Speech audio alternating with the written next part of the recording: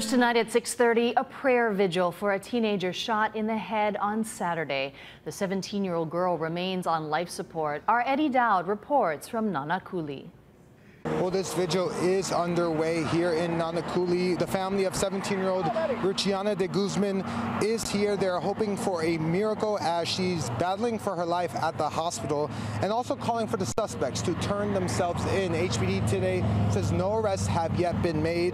HPD says de Guzman was with a group of males by Maili Elementary around 11 p.m. Saturday when another group pulled up and started firing on the group de Guzman was walking with. Her family says one of the people she was with was her boyfriend. She was sent to the hospital in critical condition Saturday night, where she has remained since. Now, joining me right now is the mother of Richiana. Susan, how is she doing right now?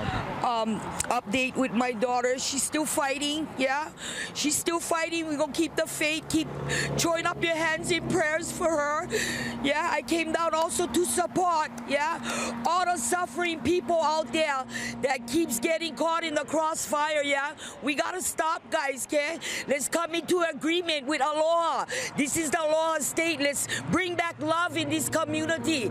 And please, the guys that's out there, please, Lord Jesus, turn yourself in. Do the best next right thing. Turn yourself in, okay? we not mad. I know my hatred for you guys, no nothing. Just please, for my daughter, she was a good girl. Yeah, she was a good girl. She was innocent. She never deserved this.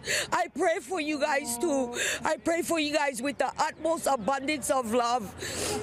thank you, Susan. On behalf of everyone here at Hawaii News Now, we just want to give you a big hug here with you. Thank you. I love you guys too. Love so this video is going to be here till 7 p.m. If you want to come out, support the family. People are honking their horns. I know it is very appreciated. Reporting live in Nanakuli, Eddie Dowd, Hawaii News Now.